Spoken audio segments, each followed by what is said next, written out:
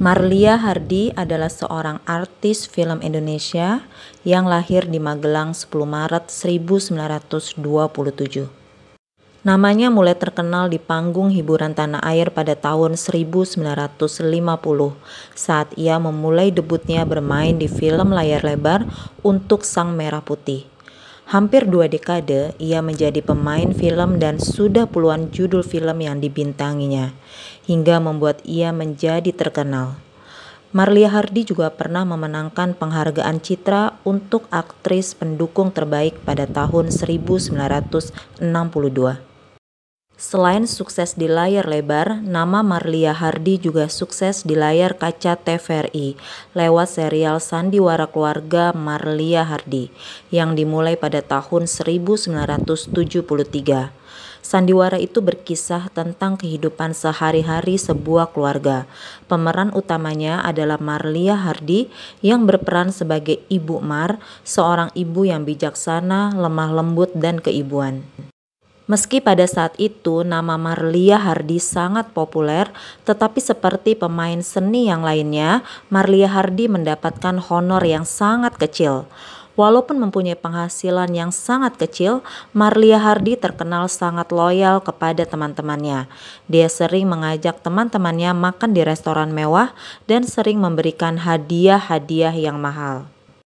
Marlia Hardi mempunyai rumah yang berada di kawasan Setiabudi, Jakarta Selatan.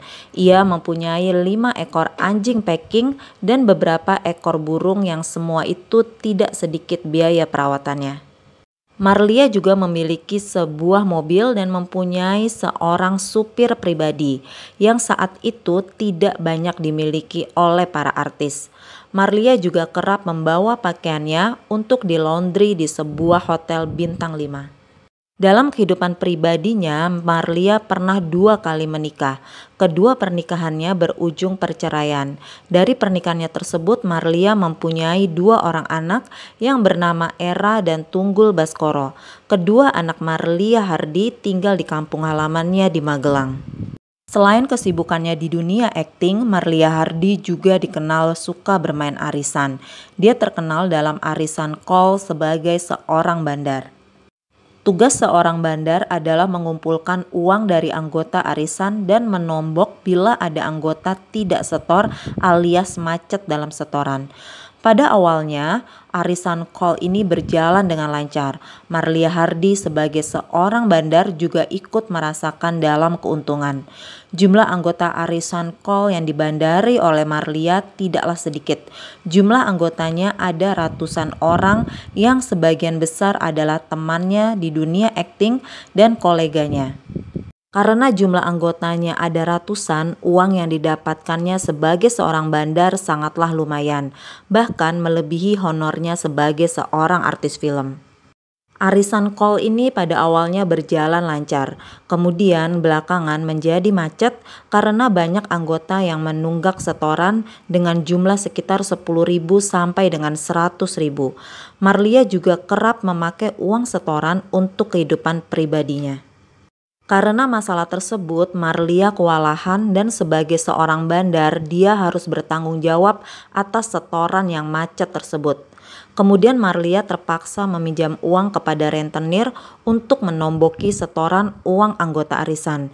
Anggota yang seharusnya menerima uang arisan terpaksa terlambat menerima uang arisan. Seperti yang dialami Sofia Rahman atau pemeran Bi Supi dalam serial Keluarga Marlia Hardi yang seharusnya menerima uang arisan pada Maret 1984 tetapi dia baru menerima uang arisan pada Juni 1984. Hal yang sama juga menimpa artis senior Sofia WD. Dia juga tertunda mendapatkan uang arisan sebesar 1,8 juta, jumlah yang terbilang besar pada saat itu. Nama Marlia Hardi sudah terkenal dengan arisan semacam ini. Bahkan ia pernah mendapatkan dampak buruknya pada tahun 1970. Marlia Hardi pernah stres dan dirawat di rumah sakit. Rumahnya disita rentenir sebab hutangnya menumpuk akibat arisan call ini. Rumah yang ditinggalinya di Setiabudi Jakarta Selatan sebenarnya sudah terjual. Akan tetapi dia masih bisa menempatinya sampai tahun 1986. Bahkan rekan sesama artis yaitu Sofia WD pernah memperingatkan Marlia agar berhenti mengikuti arisan. Tetapi Marlia tidak kapok dan hanya menjawab dia akan lebih berhati-hati lagi. Hidup Marlia Hardi semakin kacau. Hutangnya yang dipakai untuk mendomboki setoran anggota arisan membuatnya tidak bisa membayar kembali kepada rentenir. 17 Juni 1984. Kala itu Marlia Hardi sedang duduk bersama dengan tetangganya yaitu Ibu Masmirah. Kepada Ibu Masmirah, Marlia bercerita kalau dirinya mempunyai utang kepada seorang istri pejabat yang bernama Ibu Tati Sundoyo sebesar 35 juta rupiah. Kepada Mas Mirah, Marlia juga menceritakan bahwa dirinya sangatlah cemas dikarenakan besok ia harus membayar uang arisan sekitar 5 juta. Pada hari itu wajah Marlia kelihatan sangat gelisah. Yang membuat Marlia gelisah dikarenakan ia mendapatkan ancaman lewat surat kaleng dan juga telepon.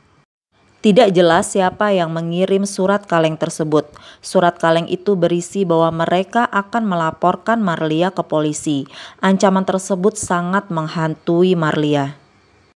Senin 18 Juni 1984 sekitar pukul 7 pagi, Marlia Hardi masih melakukan aktivitas seperti biasa yaitu menyiram bunga lalu bercakap-cakap dengan tetangganya.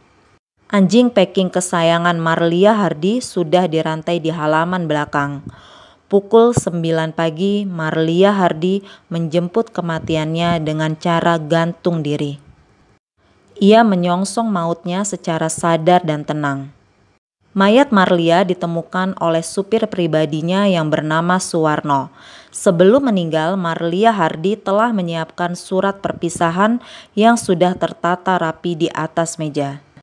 Surat perpisahan yang ditinggalkan oleh Marlia Hardi bertuliskan, "Terpaksa jalan ini yang saya tempuh.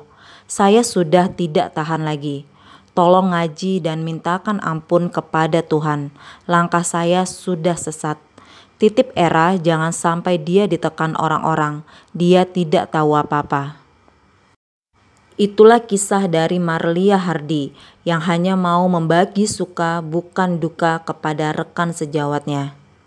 Dari kisah ini kita bisa mengambil pelajaran bahwa setiap permasalahan pasti selalu ada solusinya.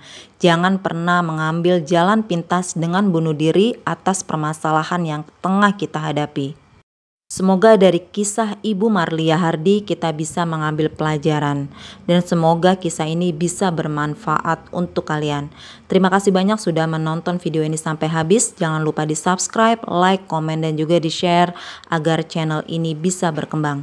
Dan nantikan video terbaru dari aku selanjutnya. Terima kasih.